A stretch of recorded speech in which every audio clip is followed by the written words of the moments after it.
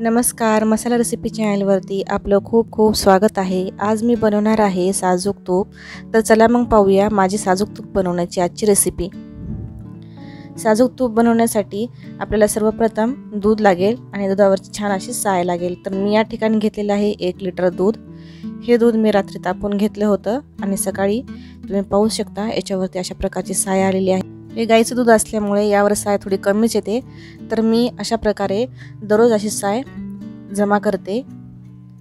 तर ही पहा मी आता पूर्ण साय हे एका भांड्यामध्ये काढून घेणार आहे. तर अशा प्रकारे आपल्याला आठ दिवसाची साय अशी जमा करायची आहे.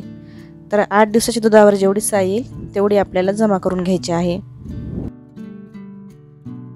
पाहू शकता आठ दिवसानंतर माझं हे पूर्ण एवढं भांड भरलेलं आहे साईचं.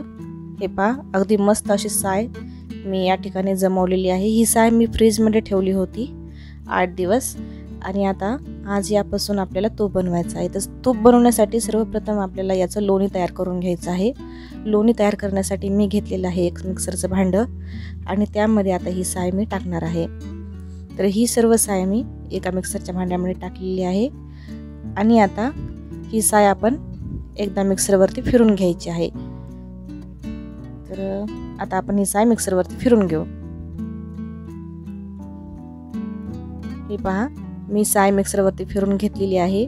आणि तुम्ही पाहू शकता मिक्सरवरती एक वेळेस फिरवल्यानंतर ज्याप्रमाणे आपण केकसाठी क्रीम तयार करतो तशी साय झालेली आहे.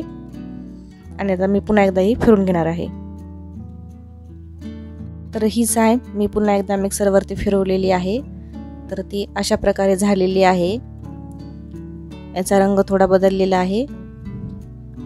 आणि आता यामध्ये आपल्याला टाकायचं आहे पाणी. तर मी यामध्ये थोडं फ्रीजमधलं थंड पाणी आपल्याला या ठिकाणी वापरायचं आहे. तर आवश्यकतेप्रमाणे थोडं थोडं पाणी आपण यामध्ये टाकणार आहोत आणि मिक्सरवरती फिरवणार आहोत. तर आता मी पाणी टाकल्यानंतर पुन्हा एकदा फिरवते. तर हे पहा मी आवश्यकतेप्रमाणे यामध्ये पाणी टाकून फिरवलेलं आहे. तर आता ही साय जी होती ती अशा प्रकारे झालेली आहे.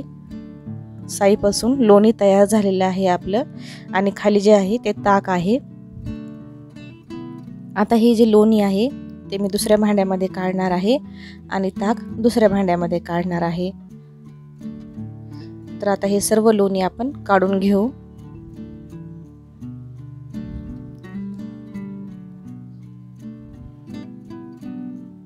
तर हे पहा अगदी मस्त असं लोणी आपलं तयार झालेलं आहे.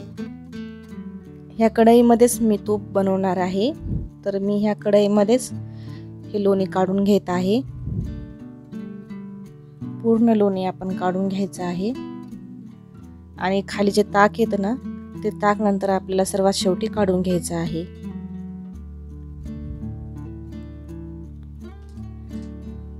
अशा प्रकारे तुम्ही पाहू शकता. आपलं या ठिकाणी एवढं लोणी निघालेलं आहे. आणि हे खाली ताक निघालेलं आहे थोडं. तर हे ताक देखील काढून घ्यायचं आहे. आणि लोणी स्वच्छ धुवायचं आहे आपल्याला. तर हे पा पूर्ण लोणी काढल्याच्या नंतर एवढं ताक खाली शिल्लक राहिलेलं आहे. ह्या ताकामध्ये तुम्ही थोडं दही विरजन म्हणून टाकू शकता. आणि दुसऱ्या दिवशी याचं मस्त असं ताक तयार होतं. हे ताक चवीला खूप चविष्ट लागतं खूप टेस्टी लागतं. तर यामध्ये आता मी थोडं दही मिसळून ठेवणार आहे. तर हे पा खूप मस्त असं लागतं हे ताक चवीला. आणि आता हे लोणी मी व्यवस्थित स्वच्छ धुवून घेतलेलं आहे. आणि आता गॅसवरती गरम करण्यासाठी ठेवलेलं आहे. तर आपला गॅस अगदी मंद ठेवायचा आहे. मंद आचेवरती आपल्याला तूप बनवायचं आहे. यामध्ये बिलकुलच पाणी नव्हतं. अगदी लोण्यातलं पूर्ण पाणी मी काढून घेतलं होतं. त्यामुळं आपल्याला जास्त वेळ लागणार नाही आहे तूप बनवायला. अगदी झटपट आपलं पाच मिनटामध्ये तूप बनवून तयार होणार आहे. तर ज्यावेळेला आपण लोणी असं गरम करायला ठेवतो त्यावेळेला त्यावरती असा फेस येतो. तुम्ही पाहू शकता यावरती देखील फेस येत आहे. पण आपल्याला हे सारखं असं हलवत राहायचं आहे. याला सोडायचं नाही आहे कारण जर आपण सोडलं तर लगेच हे खाली करपायला लागतं. किंवा हे जे वर यायला फेस आहे तो उतू जातो. त्यामुळे आपल्याला सारखं असं हलवत राहायचं आहे. एकसारखं हलवत राहायचं आहे याला. याला सोडून असं इकडे तिकडे जायचं नाही आहे नाहीतर काय होतं? हे करपतं किंवा मग उत जातं. तर हे पहा आता यामधलं बरंचसं पाणी आटलेलं आहे. आणि याचं तूप देखील तयार व्हायला लागलेलं आहे. आता तुम्ही पाहू शकता याचं तूप कसं तयार झालेलं आहे खालच्या साईडला वरती फेस आहे हा फेस पाण्याचा आहे. तर हा फेस पूर्णपणे जिरला की आपलं तूप तयार झालं. हे पहा अगदी मस्त. यामधलं जे पाणी आहे ते पूर्णपणे आपल्याला आटवून घ्यायचं आहे. जर यामध्ये थोडं जरी पाणी राहिलं तर आपलं तूप हे लवकर खराब होईल.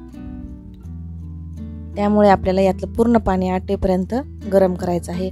तर मी या ठिकाणी आता गॅस बंद केलेला आहे. कारण आपलं हे तूप बनवून तयार झालेलं आहे. आणि आता आपल्याला हे थंड करायला ठेवायचं आहे. तर थोडं थंड झाल्याच्या नंतरच आपण हे गाळून घ्यायचं आहे. यामध्ये खाली जो गाळ असतो तो आपण गाळून घेणार आहोत. तर हे पहा आपले हे तूप पूर्णपणे थंड झालेलं आहे.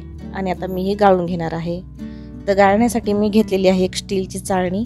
तुम्ही जर प्लास्टिकची वगैरे चाळणी घेतली तर थोडं जरी तूप गरम असेल तर ती चाळणी लगेच जळून जाईल. त्यामुळे या ठिकाणी स्टीलच्या चाळणीचा उपयोग करायचा आहे. ज्या चाळणीची एकदम बारीक अशी जाळी आहे ती चाळणी आपल्याला या ठिकाणी वापरायची आहे. तर मी असं हे चमच्याने यामध्ये थोडं थोडं टाकत आहे. अशा प्रकारे मी पूर्ण टाकून घेते. आणि हे पा एकदम खालच्या असं तळाला अशा प्रकारचा हा गाळ बसतो.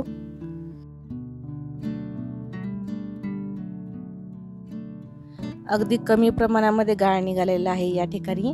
जास्त काही असं वाया गेलेलं नाही आहे तुम्ही पाहू शकता. तर आता हे तूप या ठिकाणी तयार झालेलं आहे.